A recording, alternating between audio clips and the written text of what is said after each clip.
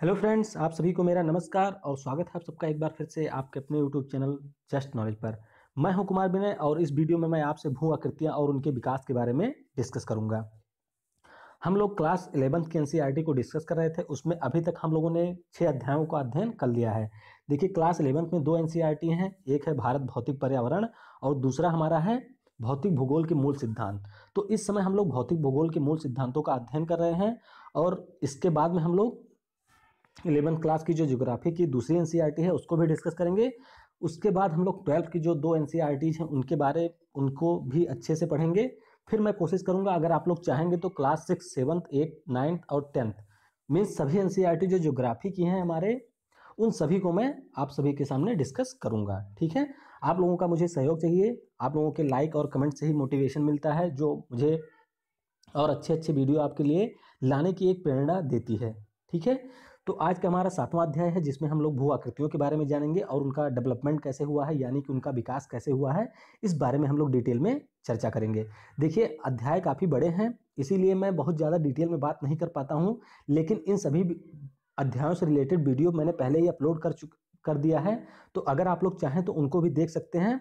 यहाँ पर मैं एक बार चैप्टर को अच्छे से पढ़ूँगा और जो चीज़ें वहाँ पर आपको समझने लायक होंगी उन चीज़ों के बारे में भी बताऊँगा।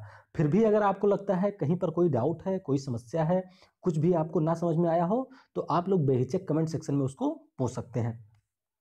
तो चलिए ज़्यादा देर ना करते हुए हम लोग शुरू करते हैं आज का यह वीडियो।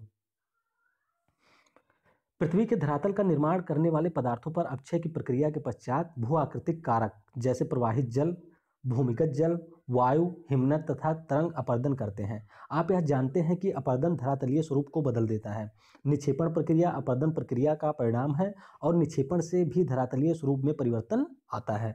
क्योंकि यह अध्याय भू आकृतियों तथा उनके विकास से संबंधित है, अतः सबसे पहले यह जाने कि भू आकृति है क्या। साधारण शब्दों में छोटे से मध्यम आकार के भूखंड ही भू आकृति कहलाते हैं। यानी कि जो हमारे पास चट्टानों के छोटे और मध्यम आकार के भूखंड मिलते हैं, उसी को हम भू आकृति कहते हैं।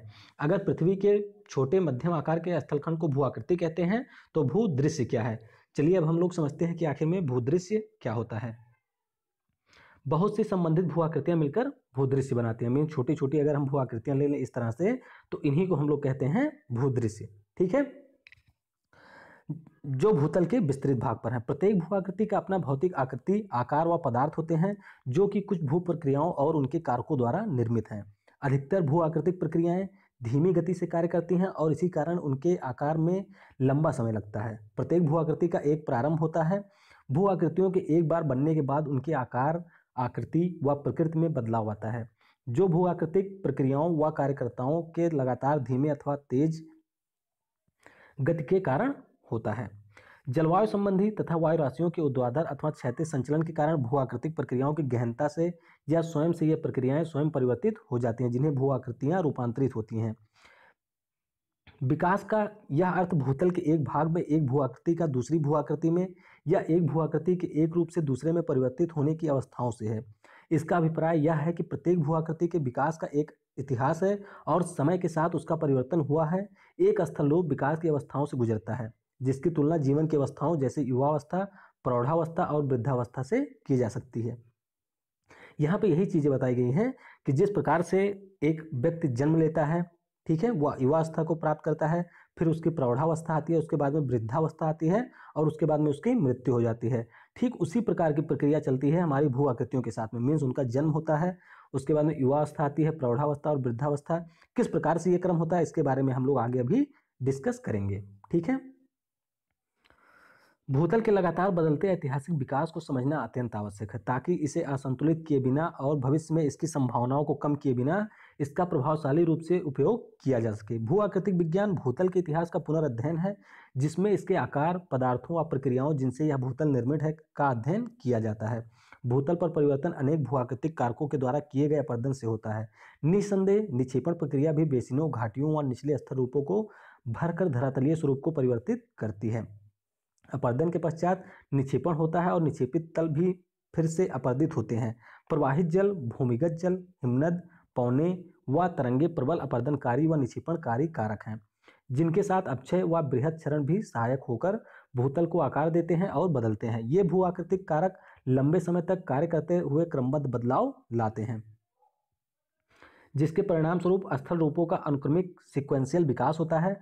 प्रत्येक भू आकृतिक कारक एक विशेष प्रकार का स्थल रूप समुच्चय बनाता है। यही नहीं, प्रत्येक प्रक्रिया व कारक अपने द्वारा बनाए गए स्थल रूपों पर एक अनोखी छाप छोड़ते हैं। आप जानते हैं कि अधिकतर भू आकृतिक प्रक्रियाएँ बहुत धीरे धीरे कार्य करती हैं। ठीक है? मतलब हम लोग इसे महसूस नहीं कर सकते हैं। और उन्हें उनके परिणाम द्वारा ही देखा या मापा जा सकता है। ये परिणाम क्या हैं? ये परिणाम कुछ और नहीं, अपितु स्थल रूप और उनकी विशेषताएँ हैं। अतः इन स्थल रूपों का अध्ययन ही हमें इनकी प्रक्रियाओं और कारकों के विषय में बताएगा, जिन्होंने इसे निर्मित किया है या कर रहे हैं। यहाँ पर बॉक्स में देखिए, अधिकतर भू आकृतिक प्रक्रियाओं का बोध नहीं होता है। ऐसी कुछ प्रक्रियाएँ बताएँ जो देखी जा सकती हैं तथा ऐसी कुछ जिन्हें देखा जा सकता, देखा नहीं जा सकता है, ठीक है? चूँकि भू आकृतिक कारक अपर्दन और निक्षेपण में सक्षम है, अतः अपर्दित और निक्षेपित दोनों प्रकार के स्थल रूपों का निर्माण होता है। प्रत्येक कारक द्वारा कई प्रकार के स्थल रूप विकसित होते हैं, जो चट्टानों की संरचना और प्रकार या मोड़, जोड़ विहंग कठोरता, कोमलता, पारगम्यता तथा अपारगम्यता, भ्रंश, दरार, जोड़ आदि पर निर्भर करते हैं। कुछ स्वतंत्र स्वयं नियंत्रक भी होते हैं, जैसे समुद्र तल का अस्थायित्व, भूतल का विवर्तनिक रूप, थर्ड हमारा है जलवायु, जो स्थल रूपों के विकास को प्रभावित करते हैं। ये तीनों नियंत्रक कारकों में से किसी में व्यवधान आने के कारण भी स्थल रूपों का क्रमबद्ध एवं अनुक्रमिक विकास को बाधित कर सकता है। इस अध्याय में आगे प्रत्येक भू आकृतिक कारक जैसे प्रवाहित जल, भौम जल हिमनत तरंग और पौने आदि का संक्षिप्त विवरण प्रस्तुत है। यह भी प्रस्तुत है कि इन कारकों द्वारा भूतलीय अपर्दन कैसे प्रभावित होता है। इसके साथ ही कुछ अपर्दित व निक्षेपित स्थल रूपों का विकास भी प्रस्तुत किया गया है। देखिए, हम लोग इस अध्याय में ही आगे इन सभी के बारे में अच्छे से समझेंगे। तो सबसे पहले हमें किसकी बात करनी है? प्रवाहित जल की। ठीक है? हमने पढ़ा था अपर्दन के कारक में, उसमें मैंने आपको बताया था कि यही सब चीज़ें होती हैं जो अपर्दन के स्वरूप को या इन्हें अपक्षय के कारक भी कहा जाता है। जैसे हमारा प्रवाहित जल हुआ या भूमिगत जल हुआ, जिसे हम लोग भौम जल भी कहते हैं।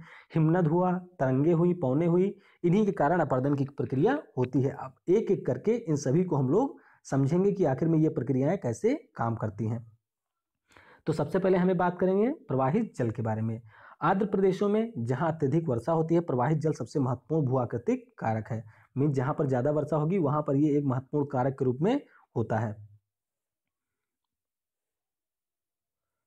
एक, आर्द्र प्रदेशों में जहाँ अत्यधिक वर्षा होती है, प्रवाहित जल सबसे महत्वपूर्ण भू आकृतिक कारक है, जो धरातल का निम्नीकरण के लिए उत्तरदायी होता है। प्रवाहित जल के दो तत्व हैं, एक धरातल पर परत के रूप में फैला हुआ प्रवाह है, दूसरा रैखिक प्रवाह है, जो घाटियों में नदियों के नदियों सरिताओं के रूप में बहता है। प्रवाहित जल द्वारा निर्मित अधिकतर अपर्दित स्थलरूप, ढाल प्रवणता के अनुरूप बहती हुई नदियों की आक्रामक अवस्था से संबंधित है। कालांतर में तेज ढाल लगातार अपर्दन के कारण मन ढाल में परिवर्तित हो जाते हैं और परिणाम स्वरूप नदियों का वेग कम हो जाता है, जिससे निक्षेपण आरंभ होता है।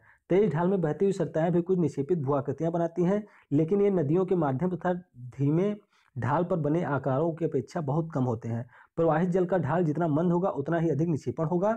जब लगातार अपर्दन के कारण नदी तल समतल हो जाए तो अधोमुखी कटाव कम हो जाता है और तटों का पार्श्व अपर्दन बढ़ जाता है। और इसके पर, फल, पर सॉरी और इसके फलस्वरूप पहाड़ियाँ और घाटियाँ समतल मैदानों में परिवर्तित हो जाते हैं। स्थलगत प्रवाह पर अपर्दन का कारण है परत प्रवाह, धरातल की अनियमितताओं के आधार पर संकीर्ण व विस्तृत मार्गों पर हो सकता है। प्रवाहित जल के घर्षण के कारण बहते हुए तल द्वारा कम या अधिक मात्रा में बहाकर लाए गए तलछटों के कारण छोटी व तंग क्षुद्र सरिताएँ बनती हैं। ये क्षुद्र सरिताएँ धीरे धीरे लंबी और विस्तृत अवनलिकाओं में विकसित हो जाती हैं। इन अवनलिकाओं कालांतर में अधिक चौड़ी, गहरी तथा लंबी लंबाई में विस्तृत होकर एक दूसरे में समाहित होकर घाटियों का जाल बनाती हैं। प्रारंभिक अवस्थाओं में अधोमुखी कटाव अधिक होता है, जिससे अनियमितताएँ जैसे जलप्रपात व सोपानी जलप्रपात आदि लुप्त हो जाते हैं। मध्यावस्था में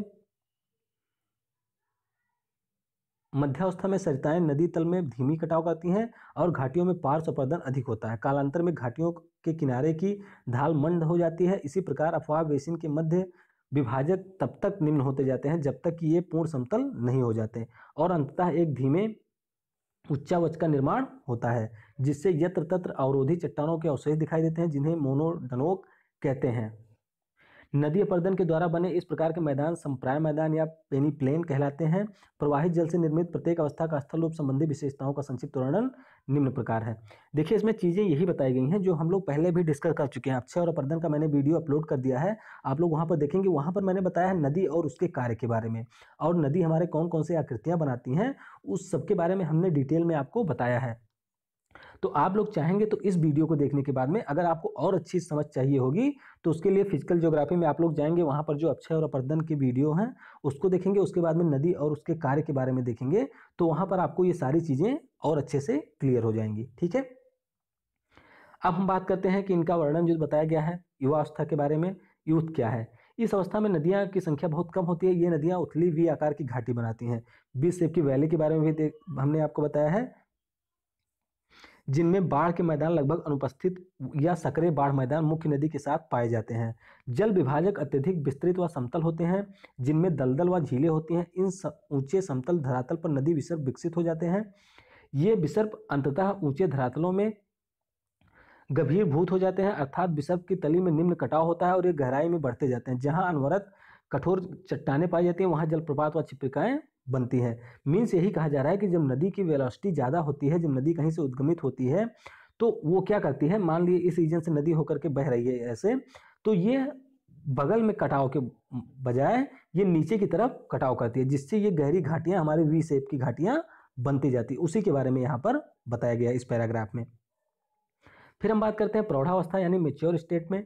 इस अवस्था में नदी की जल की मात्रा अधिक होती है और सहायक नदियाँ भी इसमें आकर मिलती हैं। नदी घाटियाँ वी आकार की होती हैं, लेकिन गहरी होती हैं। मुख्य नदी के व्यापक और विस्तृत होने से विस्तृत बाढ़ के मैदान पाए जाते हैं, जिससे घाटी के भीतर ही नदी विसर्प बनाती हुई प्रभावित होती, प्रवाहित होती है। युवा अवस्था में निर्मित समतल, विस्तृत व अंतर नदीय दलदली क्षेत्र लुप्त हो जाते हैं और नदी विभाजक स्पष्ट होते हैं, जलप्रपात व चिप्रकाएँ लुप्त हो जाती हैं।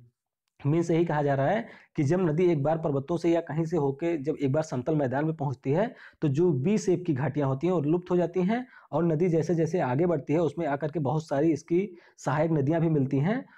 तो युवा अवस्था में जो हमारे निर्मित स्थल होते हैं या चीज़ें दिखाई देती हैं युवा अवस्था में, वो सब चीज़ें अब धीरे धीरे लुप्त होने लगती हैं। फिर हम बात करें वृद्धावस्था की तो वृद्धावस्था में छोटी सहायक नदियाँ कम होती हैं और ढाल मंद हो जाता है। नदियाँ स्वतंत्र रूप से विस्तृत बाढ़ के मैदानों से बहती हुई नदी विसर्प, प्राकृतिक तटबंध, गोखुर झील आदि बनाती हैं, विभाजक विस्तृत तथा समतल होते हैं, जिनमें झील दलदल पाए जाते हैं। अधिकतर भूदृश्य समुद्र तल के बराबर या थोड़े ऊँचे होते हैं। देखिए, यहाँ पर दिया गया इस फिगर में, ये दोनों फिगर देख लेते हैं। देखिए होगे नेकल धर्मपुरी तमिलनाडु के समीप गार्ज के रूप में कावेरी नदी का। यहाँ पर देख रहे होंगे कि नदी कैसे बह रही है। देखिए, इसके नीचे से बहती है और ये वी शेप लगभग बना हुआ है। उसी तरह से यहाँ पर संयुक्त राज्य अमेरिका के कोलोराडो का गंभीरीकृत विसर्प लूप है। इसकी घाटी के कैनियन जैसे सोपान सदृश पार्श्व ढाल दर्शाते हैं। आप लोग देख रहे होंगे कि किस तरह से यहाँ पर नदी आकर के मुड़ी है और कटान करते हुए ये आगे बढ़ रही है। अब बात करते हैं अपर्दित स्थल रूप। तो स्थल रूपों की बात करें तो सबसे पहले उसमें हम बात करेंगे घाटियों के बारे में। घाटियों का प्रारंभ तंग व छोटी छोटी क्षुद्र सरिताओं से होता है। ये क्षुद्र सरिताएँ धीरे धीरे लंबी व विस्तृत और नलिकाओं में विकसित हो जाती हैं। ये अवनलिकाएँ धीरे धीरे और गहरी हो जाती हैं। ये लंबी और ये चौड़ी व लंबी होकर घाटियों का रूप धारण करती हैं। लंबाई, चौड़ाई एवं घाटियों के आधार पर ये घाटियाँ वी आकार घाटी, गार्ज कैनियन आदि में वर्गीकृत की जा सकती हैं। गार्ज एक गहरी, सकरी घाटी होती है, जिसके दोनों पास तीव्र ढाल के होते हैं, ठीक है? एक कैनियन के किनारे भी खड़ी ढाल वाले होते हैं और यह भी गार्ज का ही बात गहरी होती है। गार्ज की चौड़ाई इसके तल और ऊपरी भाग में लगभग एक समान होती है। इसके विपरीत एक कैनियन तल की अपेक्षा ऊपरी भाग अधिक चौड़ा होता है। वास्तव में कैनियन गार्ज का ही एक दूसरा रूप है। चट्टानों के प्रकार व संरचना पर घाटी का प्रकार निर्भर होता है। उदाहरणार्थ, कैनियन का निर्माण प्राय अवसादी चट्टानों के क्षैतिज स्तरण में पाए जाने से होता है तथा गार्ज कठोर चट्टानों में बनता है। देखिए गार्ज और कैनियन के बारे में बताया जा रहा है तो कैनियन जो होता है, इस तरीके का सेप होता है, ठीक? लेकिन जो गार्ज होता है, ये इस तरीके का सेप होता है, ठीक है? तो वही कहा जा रहा है कि गार्ज और कैनियन लगभग एक ही समान होते हैं। वास्तव में अगर कहा जाए जो हमारा कैनियन होता है, ये गार्ज का ही एक रूप होता है, क्योंकि इसमें ये जो आप लोग देख रहे होंगे, ये हमारी तीर्थ ढाल होती है। यानी कि एकदम समतल ढाल जो होती है, वो नहीं होती है। फिर हम बात करते हैं जल गर्तिका और अवनमित कुंड, यानी कि पोथ होल्स एंड प्लंग पोल्स के बारे में। पहाड़ी क्षेत्रों में नदी तल से अपर्दित छोटी चट्टानी टुकड़े छोटे गर्तों में फंसकर वृत्ता का रूप में घूमते हैं, जिन्हें जलगर्तिका कहते हैं। एक बार छोटे व उथले गर्तों के बन जाने पर कंकड़, पत्थर व गोलास इन गर्तों में एकत्रित हो जाते हैं और प्रवाहित जल के साथ घूमते हैं और धीरे धीरे इन गर्तों का आकार बढ़ता जाता है। यह गर्त आपस में मिल जाते हैं और कालांतर में नदी घाटी गहरी होती जाती है। जलप्रपात के तल में भी एक गहरे और बड़े जल गर्तिका का निर्माण होता है, जो जल के ऊंचाई से गिरने व उनमें शिलाखंडों के वृत्ताकार घूमने से निर्मित होते हैं। जलप्रपातों के तल में ऐसे विशाल व गहरे कुंड, अवनमित कुंड कहलाते हैं। ये कुंड भी घाटियों को गहरा करने में सहायक होते हैं। अन्य स्थल रूपों की भांति जलप्रपात भी बदलते स्वरूप हैं, जो धीरे धीरे पीछे हटते हैं और जलप्रपात का ऊपरी तल धीरे धीरे आधार तल के बराबर हो जाता है। अपर्दन अधिक नहीं होता है, लेकिन मन ढालों पर बहती हुई नदियाँ अधिक पास अपर्दन करती हैं। क्षैतिज अपर्दन होने के कारण मन ढालों पर बहती हुई नदियाँ वक्रित होकर बहती हैं या नदी विसर्प बनाती हैं। नदी विसर्पों का बाढ़ मैदानों और डेल्टा मैदानों पर पाया जाना एक सामान्य बात है, क्योंकि यह नदी की ढाल बहुत मंद होता है, कठोर चट्टानों में भी गहरे कटे हुए और विस्तृत विसर्प मिलते हैं। इन विसर्पों को अधाकर्तित विसर्प या गंभीरभूत विसर्प कहा जाता है।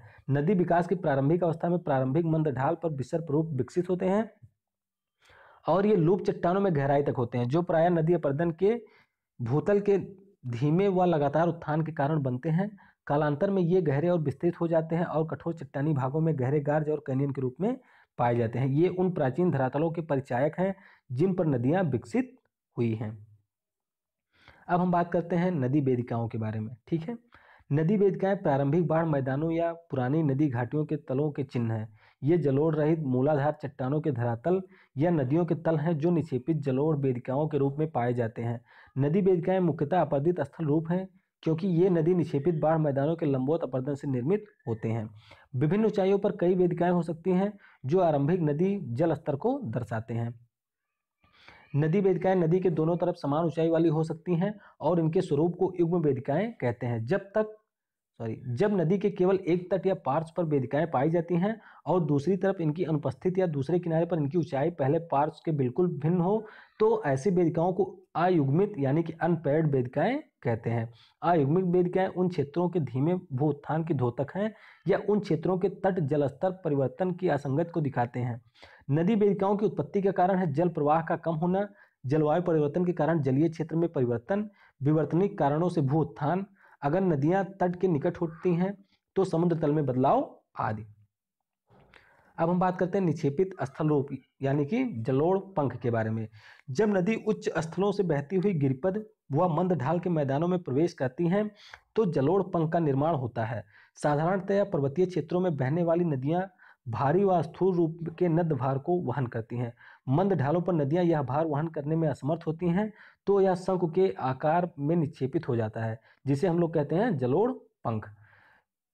जो नदियाँ जलोड़ पंखों से बहती हैं, वह प्राय अपने वास्तविक बाह्य मार्ग को बहुत दूर तक नहीं बहती, बल्कि अपना मार्ग बदल लेती हैं और कई शाखाओं में बढ़ जाती हैं, जिन्हें जल वितरिकाएँ कहते हैं। आंध्र प्रदेशों में जलोड़ पंख प्राय निम्न शंकु की आकृति तथा शीर्ष से पात तक मंद ढाल वाले होते हैं। शुष्क व अर्ध शुष्क जलवायु प्रदेशों में ये तीव्र ढाल वाले व उच्च शंकु बनाते हैं। डेल्टा की बात कर लेते हैं अब हम लोग। डेल्टा जड़ों और पंखों की भात होते हैं, लेकिन इनके विकसित होने का स्थान भिन्न होता है। मीन्स नदियाँ जो हमारे रास्ते में बनाती हैं, देखिए, नदियाँ हमारे रास्ते में जो बनाती हैं, इस तरह से जो उनके अवक्षेपित होते हैं, उन्हें हम लोग कहते हैं जलोड़ पंख। लेकिन नदी जब जाकर में, जाकर के जहाँ पर सागर में मिलती है वहाँ पर जो स्थलकृतियाँ इसी तरह का बनती हैं, उसे हम लोग कहते हैं जलोड़ उसे हम लोग डेल्टा कहते हैं। तो चलिए डेल्टा की बात कर लेते हैं हम लोग। डेल्टा जलोड़ पंखों की भात ही होते हैं, लेकिन इनके विकसित होने का स्थान भिन्न होता है।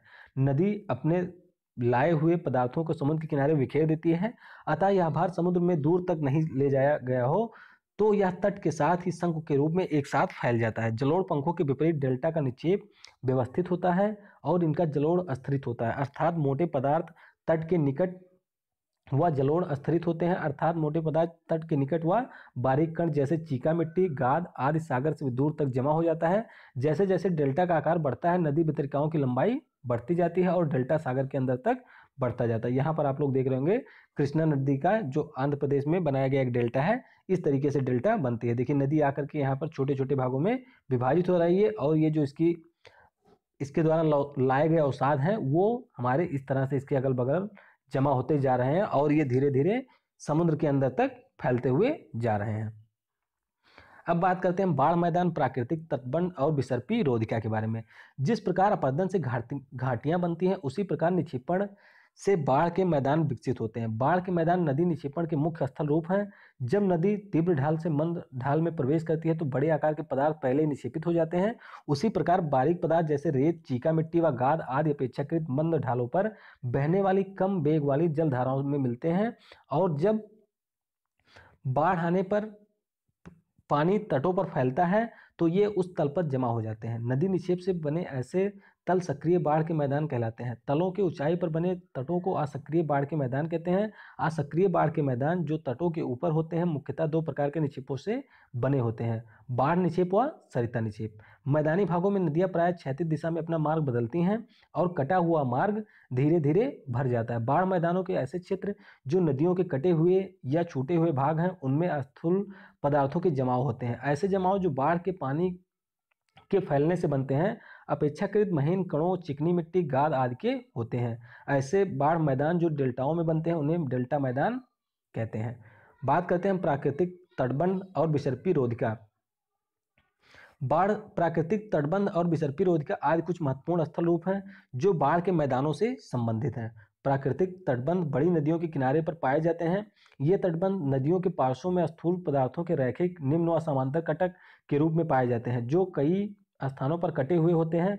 बाढ़ के दौरान जब जल तटों पर फैलता है तो नदी का वेग तो जल का वेग कम होने के कारण बड़े आकार का मलबा नदी के पास तटों पर लंबे कटकों के रूप में जमा हो जाता है। प्राकृतिक तटबंध नदी के साथ ऊँचे और नदी से दूर मंदधार वाले होते हैं। नदी चैनल के निकट तटबंधों पर निक्षेप, नदी के दूर के निक्षेपों की तुलना में अपेक्षाकृत मोटे पदार्थों के होते हैं। जब नदी का जल कम हो जाता है या नदी क्षैतिज अवस्था में अपना मार्ग बदलती है तो यह क्रमबद्ध प्राकृतिक तटबंध बनाती है। नदी रोधिकाएँ विसर्पी रोधिकाओं के नाम से भी जानी जाती हैं। नदी रोधिकाएँ या विसर्पी रोधिकाएँ बड़ी नदी विसर्पों के उत्तल ढालों पर पाई जाती हैं। ये रोधिकाएँ प्रवाहित जल द्वारा लाए गए तलछटों के नदी निक्षेपण, नदी किनारों पर निक्षेपण के कारण बनती है। इनकी चौड़ाई व परिच्छेदिका लगभग एक समान होती है और इनके औषधि मिश्रण मिश्रित आकार के होते हैं। अगर नदी रोधिकाओं की कटक एक से अधिक हो तो वह विसर्प रोधिकाओं के मध्य लंबे तंग व लंबे गर्त में पाए जाते हैं। नदी में इनका कम प्रवाह की मात्रा व तलछट की आपूर्ति पर निर्भर करता है। चूँकि नदी और रोधिकाएँ उसके उत्तल पर बनती हैं, अतः नदी के अवतल तट पर अधिक अपर्दन होता है। यहाँ पर आप लोग देख रहे होंगे, प्राकृतिक तटबंध और विसर्पी रोधिकाओं के चित्र बनाए गए हैं। देखिए, जब नदी किसी स्थान से होकर के बहती है तो वहाँ से एक प्राकृतिक तटबंध बना देती है। मीन्स एक ऐसा किनारा बना देती है कि उसी के अंदर नदी होकर के बहती है। और यहाँ पर बात की गई है विसर्प रोधिकाएँ। मीन्स जब नदी किसी स्थान पर इस तरह से आकर के मुड़ जाती है तो उनके बीच का जो रीजन होता है, उसे हम लोग विसर्पी संधिकाएँ कहते हैं। ठीक है? उसी चीज़ों के बारे में यहाँ पर बताया गया है। अब हम बात करते हैं नदी विसर्प यानी कि मेंढर क्या होता है। विस्तृत बाढ़ व डेल्टा मैदानों में नदियाँ शायद ही सीधे मार्गों में बहती होंगी। बाढ़ व डेल्टाई मैदानों पर लूप जैसे चैनल प्रारूप विकसित होते हैं, जिन्हें विसर्प कहा जाता है। चित्र में यहाँ पर देखिए, विसर्प एक स्थल रूप न होकर एक प्रकार का चैनल प्रारूप है। नदी विसर्प के निर्मित होने के कारण निम्नलिखित हैं। मंद ढाल पर बहते जल को तटों पर क्षैतिज या पार्श्विक कटाव के करने की प्रवृत्ति का होना, तटों पर जलोड़ का अनियमित व असंगठित जमाव जिससे जल का दबाव का नदी पार्श्वों में बढ़ना, प्राकृतिक जल का कोरियोलिस प्रभाव में विक्षेपण ठीक उसी प्रकार से जैसे कोरियोलिस बल से वायु का प्रवाह भी विक्षेपित होता है। जब चैनल की ढाल प्रवणता अत्यधिक मंद हो जाती है तो नदी के पानी का प्रवाह कम हो जाता है। यहाँ पर मैं आपको पहले बता देता हूँ, फिगर में फिर आगे पढ़ते हैं हम लोग। ठीक है? देखिए, इस तरह से जब नदी चलती है, इस तरह से आप लोग देख रहे होंगे तो ये क्या होता है? कभी कभी ये इस तरह से बहुत ज़्यादा बढ़ जाती है। ठीक है? फिर बढ़ने के बाद में क्या होती है कि नदी का जब वेलोसिटी ज़्यादा होती है तो फिर ये यहाँ के मिल जाती है और ये रीजन इस तरह से छूट के अलग हो जाता है। उसी को हम लोग छाड़न झील या गोखुर झील कहते हैं। उसी के बारे में यहाँ पर बताया गया है। जब चैनल की ढाल प्रवणता अत्यधिक मंद हो जाती है तो नदी का पानी का प्रवाह धीमा हो जाता है तथा पार्श्वों का कटाव अधिक होता है। नदी तटों पर थोड़ी सी अनियमितताएँ भी धीरे धीरे मोड़ों के रूप में परिवर्तित हो जाती हैं। यह मोड़ नदी के अंदरूनी भाग में जलोढ़ जमाव के कारण गहरे हो जाते हैं और बाहरी किनारा अपर्दित होता रहता है। अगर अपर्दन निक्षेपण तथा निम्न कटाव न हो तो विसर्प की प्रवृत्ति कम हो जाती है। प्रायः बड़ी नदियों के विसर्प में उत्तल किनारों पर सक्रिय निक्षेपण होते हैं और अवतल किनारों पर अधोमुखी कटाव होते हैं। अवतल किनारों, कटाव किनारों के रूप में भी जाने जाते हैं, जो अधिक अपर्दन के तीव्र कगार के रूप में परिवर्तित हो जाते हैं। उत्तल किनारों का ढाल मंद होता है और ये स्कंद ढाल कहलाते हैं। विसर्पों के गहरे छल्ले के आकार में विकसित हो जाने पर यह अंदरूनी भागों पर अपर्दन के कारण कट जाते हैं और गोखुर झील बन जाती है। अब बात करते हैं गुम्फिर नदी यानी कि ब्रेडेड चैनल्स के बारे में। यदि नदी द्वारा प्रवाहित नद भार का निक्षेपण उसके मध्य में लंबी रोधिका के रूप में हो जाता है तो नदी धारा दो शाखाओं में विभाजित हो जाती है और यह प्रवाह किनारों पर क्षैतिज अपर्दन करता है। नदी घाटी की चौड़ाई बढ़ने पर और जल आयतन कम होने पर प्रवाहित जलोढ़ अधिक मात्रा में एक क्षैतिज और, अवरोध के रूप में दीप की भात निक्षेपित हो जाते हैं तथा मुख्य जलधारा कई भागों में बढ़ जाती है। गुफिन नदी प्रारूप के लिए तटों पर अपर्दन व निक्षेप आवश्यक है। या जब नदी में जल की मात्रा कम तथा जलोढ़ अधिक हो जाए, तब चैनल में ही रेत, मिट्टी, बजरी आदि का लंबी और अवरोधिकाओं का जमाव हो जाता है और नदी चैनल कई जल वितरिकाओं में बढ़ जाता है। जल प्रवाह की ये वितरिकाएँ आपस में मिल जाती हैं और फिर पतली पतली उपधाराओं में बढ़ जाती हैं। इस प्रकार एक गुम्फिर नदी प्रारूप का विकास होता है। बात करते हैं भौम जल यानी कि ग्राउंड वाटर की। भौम जल यहाँ एक संसाधन के रूप में वर्णित नहीं है। यहाँ भौम जल का अपर्दन के कारण के रूप में वर्णन और उसके द्वारा निर्मित स्थल रूपों का वर्णन किया गया है। जब चट्टाने पारगम में कम सघन, अत्यधिक जोड़ों, संधियों व दरारों वाली हों तो धरातलीय जल का अंताश्रवण आसानी से होता है। लंबोत गहराई पर जाने के बाद जल धरातल के नीचे चट्टानों की संधियों, छिद्रों व संस्तरण तल में होकर क्षैतिज अवस्था में बहना प्रारंभ करता है। जल का यह क्षैतिज व ऊर्ध्वाधर प्रवाहित चट्टानों के अपर्दन का कारण है। भौतिक जल में पदार्थों के परिवहन द्वारा बने स्थलूप महत्वहीन है। इसी कारण भूमिगत जल का कार्य सभी प्रकार के चट्टानों में नहीं देखा जा सकता। लेकिन ऐसी चट्टानें जैसे चूना पत्थर या डोलामाइट, जिनमें कैल्शियम कार्बोनेट की प्रधानता होती है, उनमें धरातलीय व भौम जल, रासायनिक प्रक्रिया द्वारा घोलीकरण व अवक्षेपण अनेक स्थल रूपों में विकसित करते हैं। ये दो प्रक्रियाएँ गोलीकरण व अवक्षेपण या तो चूना पत्थर व डोलामाइट चट्टानों से अलग से या अन्य चट्टानों के साथ अंतरा संतरित पाई जाती हैं। किसी भी चूना पत्थर या डोलोमाइट चट्टानों के क्षेत्र में भौम जल द्वारा घुलन प्रक्रिया के का, और उसके निक्षेपण प्रक्रिया से बने अस्थिर स्थल रूपों को कास्ट टोपोग्राफी स्थलाकृत का नाम दिया गया है। यह नाम एड्रियाटिक सागर के साथ बाल्कन कास्ट क्षेत्र के उपस्थित लाइमस्टोन चट्टानों पर विकसित स्थल कृतियों पर आधारित है। अब हम बात करते हैं अपर धनात्मक और पर दोनों प्रकार के स्थलोप कास्ट स्थलाकृतियों की विशेषताएँ हैं। ठीक है? अभी हम लोग आगे पढ़ेंगे। अब बात करते हैं अपर्दित स्थल रूप, यानी कि कुंड पोल्स के बारे में, घोल रंध्र, यानी कि सिंक होल्स के बारे में, लैपीज क्या होते हैं, चूना, पत्थर, चबूतरे, यानी कि लाइम स्टोन पेवमेंट्स, इन सब के बारे में थोड़ा सा डिस्कस कर लेते हैं। चूना, पत्थर, चट्टानों के तल पर घुलन क्रिया द्वारा छोटे व मध्यम आकार के छोटे घोल गर्तों का निर्माण होता है, जिनके विलय पर इन्हें बिलहन रंध्र, यानी कि सोलो होल्स कहते हैं। घोल रंध्र कास्ट क्षेत्र में बहुतायत में पाए जाते हैं घोल रंध्र एक प्रकार के छिद्र होते हैं जो ऊपर से वृत्ताकार और नीचे कीप की आकृति के होते हैं और इनका क्षेत्रीय विस्तार कुछ वर्ग मीटर से हेक्टेयर तक तथा गहराई आधा मीटर से तीस मीटर या उससे अधिक होती है। इनमें से कुछ का निर्माण अकेले घुलन प्रक्रिया द्वारा ही होता है और कुछ अन्य पहले ही घुलन प्रक्रिया द्वारा बनते हैं। अगर इन घोल रंध्रों के नीचे बनी कंदराओं की छत ध्वस्त हो जाए तो ये बड़े छिद्र ध्वस्त या निपात रंध्र के नाम से जाने जाते हैं। अधिकतर घोल रंध्र ऊपर से अपर्दित पदार्थों के जमने से ढक जाते हैं और उथले जलकुंड जैसे प्रतीत होते हैं। ध्वस्त गोल रंध्रों को डोलाइन भी कहा जाता है। ध्वस्त रंध्रों की अपेक्षा घोल रंध्र अधिक संख्या में पाए जाते हैं।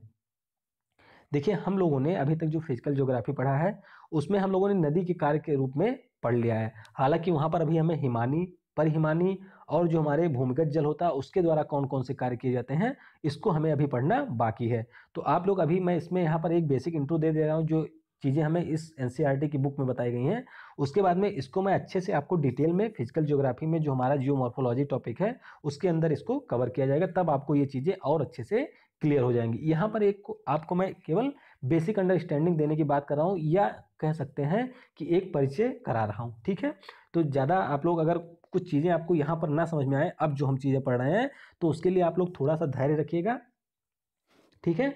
और थोड़ा सा समय का वेट कीजिएगा, जब हम लोग उसको ज्योग्राफी में पढ़ेंगे तो आपको वो चीज़ें और अच्छे से क्लियर हो जाएँगी। ठीक है?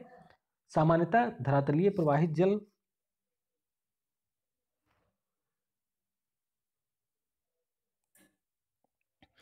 तो अब हम बात करते हैं निक्षेपित स्थल रूपों के बारे में। देखिए अधिकतर निक्षेपित स्थल रूप कंदराओं के भीतर ही निर्मित होते हैं।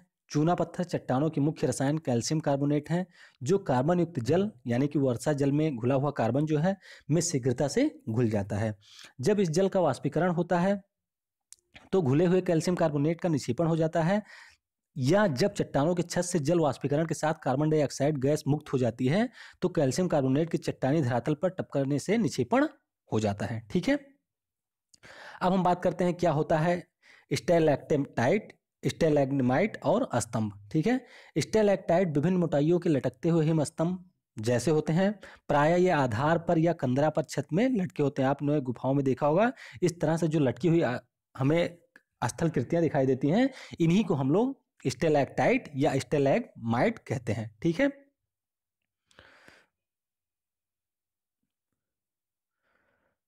पास मोटे होते हैं और अंत में छोर पर पतले होते हैं। मीन्स इस तरह से ये ऊपर किसी स्थलाकृति में लटके होते हैं, जैसे इस तरह से, ठीक है?